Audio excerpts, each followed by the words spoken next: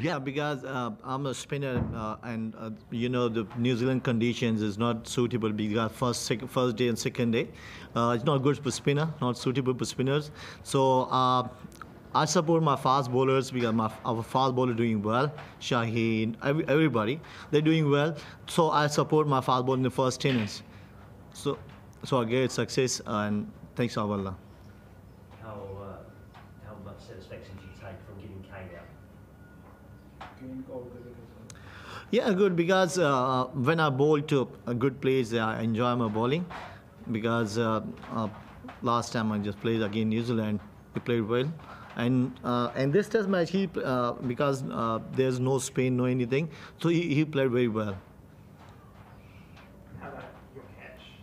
You go, um, you know, what was it like to grab that one?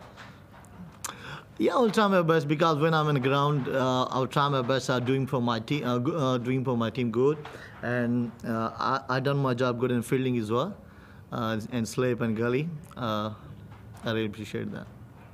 And how did you feel about letting New Zealand get 400 runs after winning the toss and bowling? Uh, yeah, New Zealand played very well batsmen uh, because they make partnerships. Uh, every partnership like 100 runs, 150 runs, and then then after that Jamieson partnership is 50 runs. So uh, they played very well. And, uh, because will try that because our fast bowler doing uh, contain, and they bowl very well and. Um, they dis- didn't disappoint because uh, uh, uh, first half we get two wickets a new ball then after the williamson uh, the good partnership 150 160 runs partnership th- that that's why they make 400 runs Thank you so much. Thank you.